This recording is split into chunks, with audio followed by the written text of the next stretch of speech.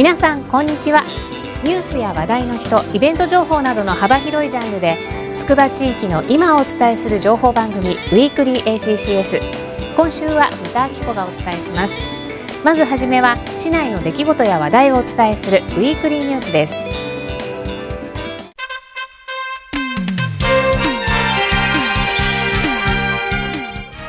まず最初は毎年秋に行われる土浦全国花火競技大会に関連した展示会の話題です。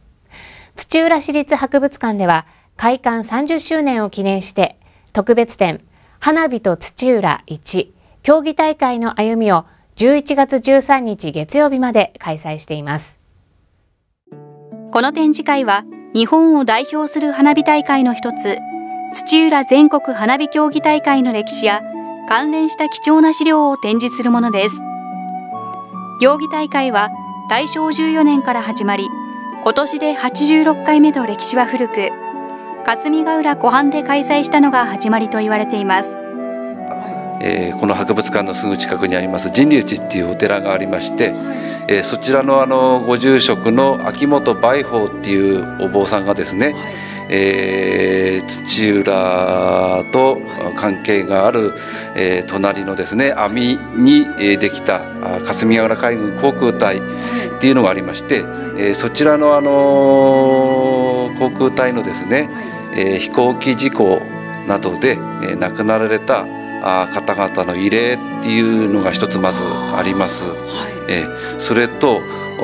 当時あの土浦の町、まあ、全国的にも不況だったとい。う話があるんですけれどもその不況のですね、えー、町の様子を見てですね、えー、それをなんとかあの挽回したいと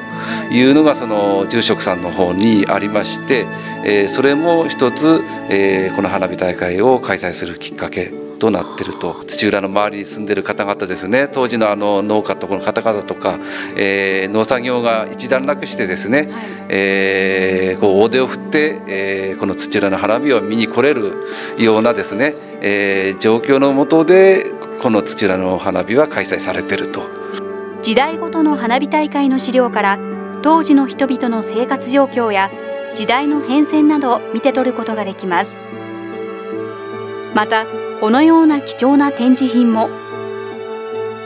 土浦の花火大会で、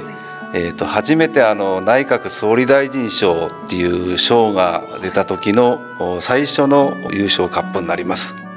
現在はクリスタルガラス製ですがかつてはこのような金属製のカップが贈られていました。でこちらはですね、えー、平成12年えー、西暦でいうと2000年ちょうど2000年の年からということになりまして、えー、1回目はですね、えー、つくば市の山崎演歌さんが、えー、受賞したということになります。そうなんですね、はい。期間中は関連企画として平成に入ってからの競技大会を振り返るポスターやパンフレット関連グッズなども展示されています花火と土浦市競技大会の歩みは11月13日月曜日まで開催しています。関連イベント展示解説会資料が語る土浦の花火定茶お茶を一服いかがですか？花火に寄せた茶会はご覧の日程で行われます。